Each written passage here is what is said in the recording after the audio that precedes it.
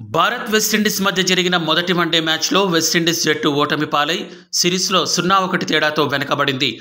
అసలే వన్డే ప్రపంచ cup qualifier టోర్నమెంట్లో చెత్త ప్రదర్శనతో ప్రపంచ కప్ ఆడే అర్హత కోల్పోయింది వెస్టిండీస్ జట్టు. ఆ ప్రదర్శనను భారత జట్టుపై కూడా కొనసాగించి వెస్టిండీస్ మరింత పతనావస్థకు చేరుకుంది.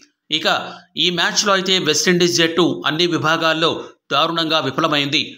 మొదట్లో బ్యాటింగ్లో చెత్త ప్రదర్శనతో స్వల్ప స్కోర్కే ఆలౌట్ కాగా ఆ తర్వాత బౌలింగ్లో కాస్త పర్వాలేదనిపించారు టీమిండియా టాప్ ఆటగాళ్ళను అవుట్ చేసి కొన్ని మార్కులు అయితే సంపాదించారు. కానీ ఫీల్డింగ్లో మాత్రం వారి అధమ ప్రదర్శన యథాతథంగా కొనసాగింది.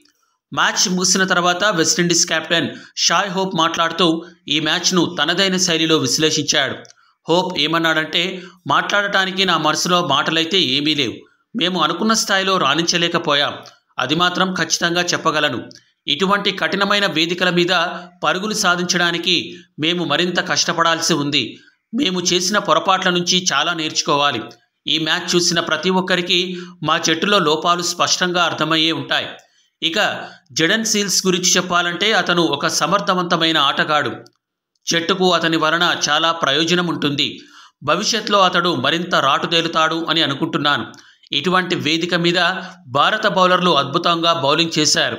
మేమైతే బాగా బ్యాటింగ్ చేయలేకపోయాం. మా బౌలర్లు మాత్రం అద్భుతంగా బౌలింగ్ చేసి టీమిండియా బ్యాట్స్మెన్ను బాగానే అవుట్ చేశారు. మేము గనక మరికొన్ని పరుగులు చేసి మరింత బాగా ఫీల్డింగ్ చేసి ఉంటే గెలిచే అవకాశం ఉండేది. రాబోయే మ్యాచ్లలో మెరుగైన ప్రదర్శన చేసి సత్తా చాటుతాం అని అన్నాడు. ఈ వీడియో కనుక మీకు నచ్చినట్లయితే లైక్ షేర్ కామెంట్ చేయండి. మరిన్ని అప్డేట్స్ కోసం మా ఛానల్ని సబ్స్క్రైబ్ చేసుకోండి.